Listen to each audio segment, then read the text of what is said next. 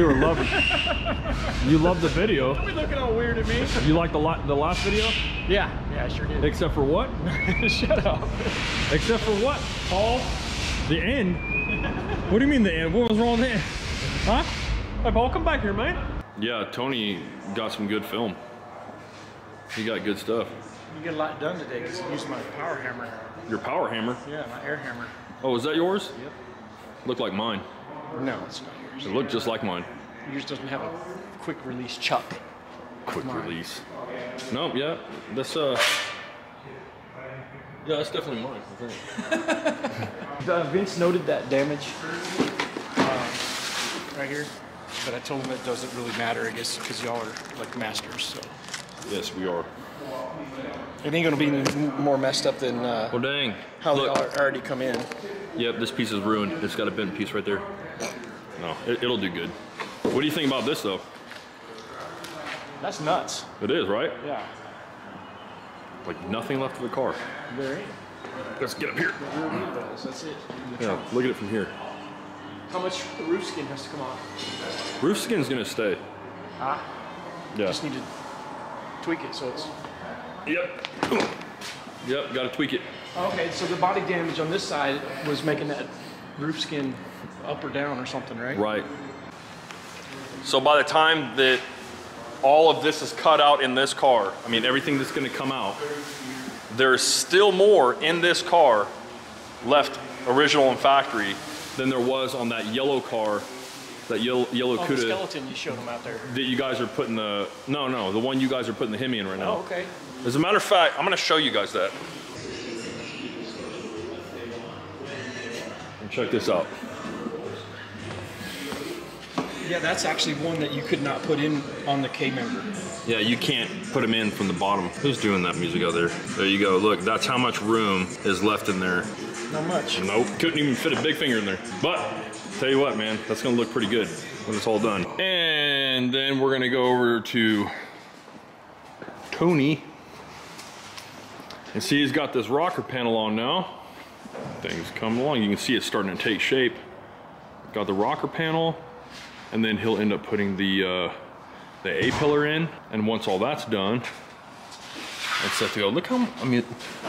That's how far in you gotta go and cut all this crap out just to get a new rocker panel in. This piece is gonna have to re be replaced. Yes, even even little things like this, All redone. because that's supposed to be a circle, not a three quarter of a circle. But so this is the piece of floor that Tony removed, and none of this is supposed to look like that. This is actually supposed to be a straight piece of metal. You can see how jacked it is. And all of this is just mangled. Whatever this thing hit, it hit it really hard. See that? That's where it was. So there's a torsion bar, which is your suspension, your, your spring, if you wanna, it's not a spring, it's a bar that twists that, it's, it's like a spring. So it's connected to the K-frame, which holds the engine, and when it hit, it pushed it back and broke everything to pieces. Boy, this side got bad. So Tony's cutting this apart. This is what's underneath. Just nasty stuff. And this piece, the rocker panel is supposed to extend all the way back, and it's completely rotted out. So, we got some other cars. Out back, we're gonna take some parts on, or off of. We got that side together though. It's looking good, Tony. Thanks, boss. Check this out.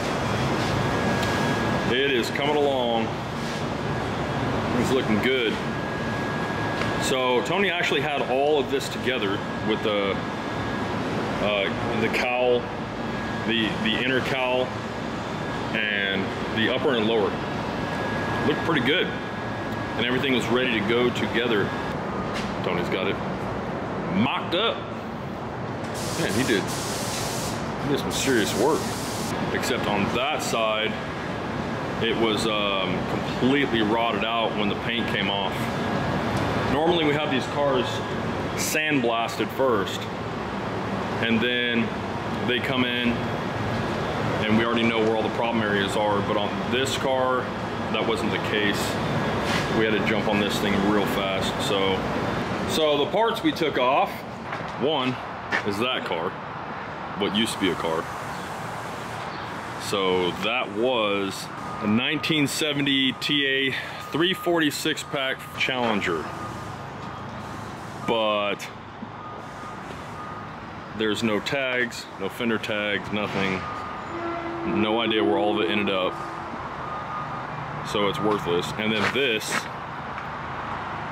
is the original car that Tony's working on now. But there was nothing left of this one because this car had been cut in half. You can see the weld right there. It had been cut in half and hacked together and there's actually three cars in this one car. You can see that. This is a cap on that frame rail because there's no frame rail underneath it.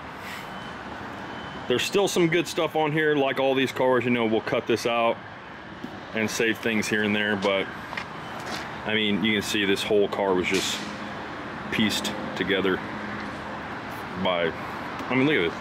The floors aren't even connected. So, Tony's gonna come in here. He needs these seat mounts right here, these seat brackets.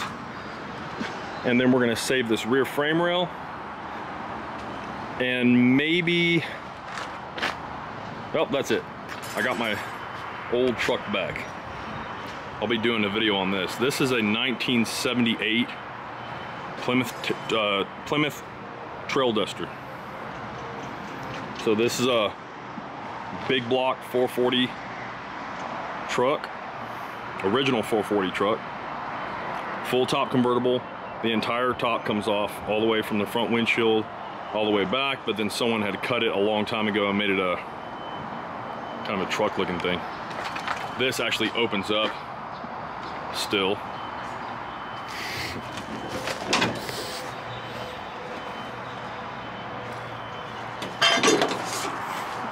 Just took the interior out because it's been completely trashed. Um, it's just been sitting a long time. There you go. Crazy part is too, is when you take the top off, the uh, window frame stays. I don't like that, but. So, like I said, this is Plymouth's version of the Ram Charger. I've had this truck for a long, long time. Sold it, then got it back. It's an original motor. And there's a 440 stamping somewhere on the frame over here on this side. It's got a little Dana maybe 44 in the front.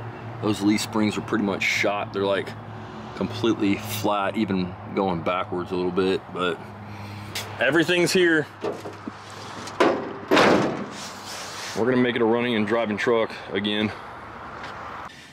So in the booth, he's getting ready to do a clear coat on the deck lid, the end caps,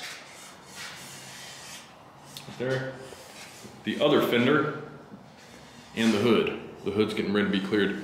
And then we'll do the clear once, and then wet sand it, come back, put the insert on, and then clear it again. And the front valence, which doesn't exist on road runners, but on this one it does. So that's where the turn signal goes for the front. And then we'll end up with some uh, honeycomb black screen in here.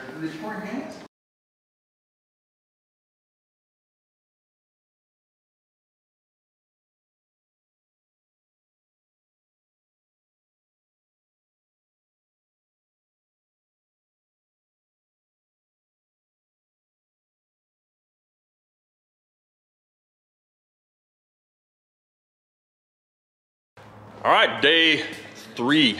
No. Hey guys, welcome back to the channel. So we got the uh, the car painted. That purple car that was in the booth, the 70 runner. It is shot.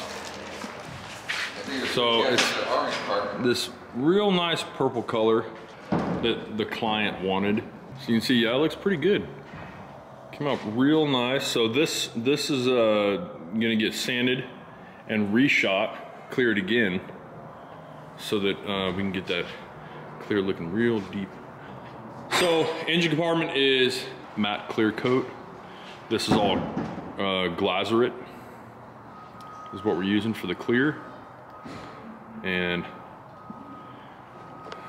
so you can see, came out real nice, real clean, good stuff.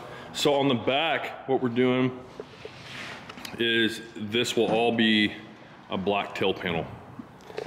So everything within this section here goes black and then we'll have some uh, Roadrunner um, stenciling going on in here. And then this is our gas cap for this car. From the factory, it's behind the license plate, but had to change all that stuff out. Looking pretty good. What are you doing on this, Paul? Uh, hydro boost. Ooh, Hydro hydro boost for the brakes. And the, we gotta route the lines to the reservoir and pump, and also down to the rack and pinion. And that setup looks good. It does. Got a little issue. Um, the return line from the pump to the uh, oil sump or oil pan is right down here. And as you can see, if I put my power steering lines on there, it's going to interfere with this big old number 12 hose I got going across there. So, just solving problems, brother. That's it. Very little room in here. Yeah, got some nice uh, powder coated headers. Oh yeah, those That's look good. right. Those look really good. Look at the size of those primaries. I know, they're huge. God. That's a big ass piece. We got the axle coming. So we can finish the finish the suspension on the rear, and then we can get it off the jack stands, put on some wheels, and uh, just continue forward. Yep. Getting the chrome on. Yep. And it's gonna look good. The other side is almost complete. Oh yeah, it does. Something about that yellow, black, and chrome. Yellow, black, and chrome. You can't go wrong with that combination. No. No. Headliner. Yep. It's looking good. Sail panels we put in. Yeah, it looks really good. And on the chopped Canadian Charger, we put the dash in so we can uh, get it going. It's got aftermarket gauges inside the cluster. We're not going to use that bezel in there or anything, but this is a telescopic steering column. It goes forward and back, up and down. And that shifter looks huge in this car. Probably to put a shorter shifter in that. So on quick, really cool little thing that we got, Brent here from Vibro Solutions, he uh, is doing the grill for that, the uh, chop charger. So this thing's a 3D printed grill. And the reason why we um, we're doing a 3D printed grill is because this car being sectioned two inches, so all you know, there was two inches of metal taken out of taken out of the whole side of the car all the way around. It also extends into the grill, so the grill is two inches shorter also. So I'm gonna show you.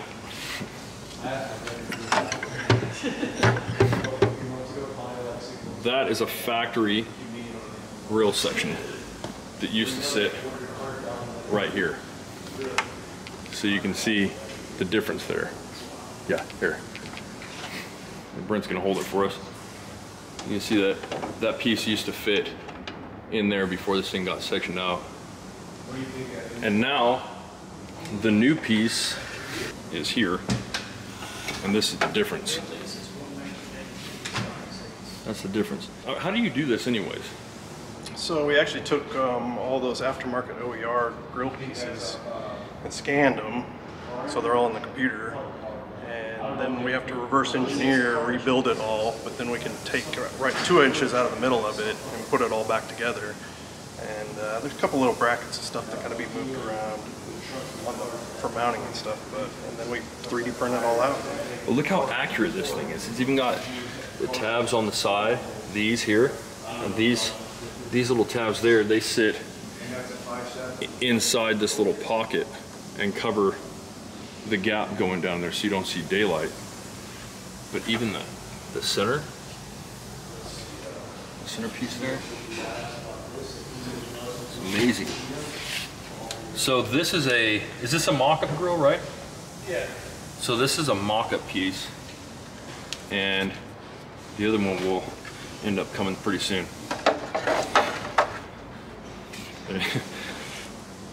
That's a big difference. God, Looks like it's half the size. yeah. So now we can finally fit a grill into this car. Look at this size. This is craziness. Just thought I'd show you all that. That gray car we have, this is actually the Hellcat grill for that. Yeah, man, it looks good. Cool. Thanks a lot. Good job. No problem.